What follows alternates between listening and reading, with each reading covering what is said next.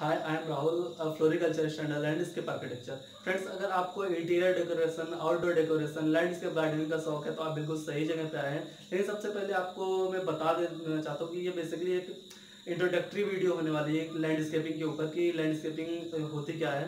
तो अगर मान लीजिए हमें गार्डन का डेवलपमेंट करना है गार्डन का डेवलपमेंट करने के लिए कौन कौन से कंपोनेंट्स की ज़रूरत पड़ती है? लाइक गार्डन ऑर्नामेंट जो डिफरेंट टाइप के गार्डन गार्डन ऑर्नामेंट्स होते हैं और tree shrubs climbers hedge edge topiary हो गए बैम्बू हो गए रीड्स हो गए या पाम्स हो गए साइकेट्स हो गए ये सब क्या होते हैं? ये सब लैंडस्केप प्लांट्स हैं जो कि लैंडस्केपिंग करते वक्त हमें गार्डन में यूज़ करना क्योंकि अगर हम लैंडस्केपिंग करने जा रहे हैं अगर एक गार्डन का डेवलपमेंट करने जा, जा रहे हैं तो अगर हमें इन सब चीज़ों के बारे में नहीं पता होगा तो हम गार्डन का डेवलपमेंट नहीं कर सकते हैं।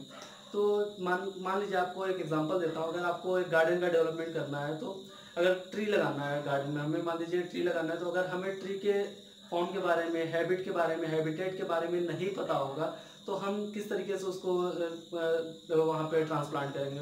मान लीजिए अगर ट्री है क्लाइमेट ट्रॉपिकल कंडीशन का अगर हम उसको टेम्परेट कंडीशन में लगाएँ तो क्या होगा?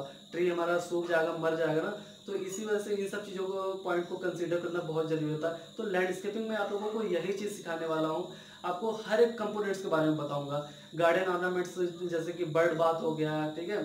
फ्लोरल क्लॉक हो गया, या फिर कुछ भी हो गया कोई भी गार्डन ऑर्नामेंट्स हो गया सारे के सारे गार्डन ऑर्नामेंट्स के बारे में बताऊँगा। ट्रीज के फॉर्म के बारे में बताऊँगा, और ट्रीज कौन से ट्रीज कहाँ पे यूज़ किए जाने कौन सा एवेन्यू प्लांटिंग में यूज़ होगा, और कौन सा सेड के लिए यूज़ होगा।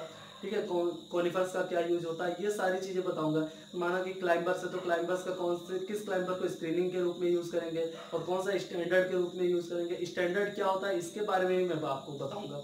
मतलब कि ज़ीरो से स्टार्ट करेंगे और हंड्रेड तक जाएँगे और ये सबसे सारी चीज़ें बताऊँगा कि लैंडस्केपिंग करने के लिए हमें कोई कितना कॉस्ट लगेगा और अगर मुझे मौका मिलेगा कि मैं किसी भी गार्डन में जाता हूँ तो गार्डन के बारे में भी बताऊँगा कि ये, आप किस तरीके का गार्डन है और ब्लॉगिंग के बारे में एक ब्लॉग शूट करूँगा और ब्लॉग ब्लॉग के रूप में आपको चैनल पे अपलोड करूँगा, जिससे आप लोगों को एक प्रैक्टिकल नॉलेज भी मिल पाए।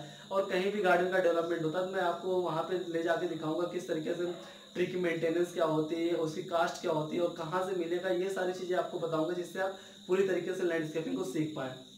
तो फ्रेंड्स ठीक है, आज के लिए बस इतना ही और मिलते हैं नेक्स्ट वीडियो में। आपको अगले वीडियो में बताने वाला हूँ कि लैंडस्केपिंग क्या होती है लैंडस्केपिंग के प्रिंसिपल्स क्या होते हैं और इसके एलिमेंट्स क्या होते हैं। प्रिंसिपल और एलिमेंट्स जानेंगे, उसके बाद फिर फर्दर और आगे डिस्कस करते चलेंगे एक एक वीडियो में। तो फ्रेंड्स आप हमारे चैनल के साथ जुड़ जाइए। अगर आप ये वीडियो फेसबुक पे देख रहे हैं तो हमारे फेसबुक पेज को लाइक कर लें और अगर आप यूट्यूब पे देख रहे हैं चैनल को सब्सक्राइब कर लें और वीडियो को अगर अगर आप और लोगों तक पहुंचाना चाहते हैं तो वीडियो को शेयर कर सकते हैं। Thank you and best of luck.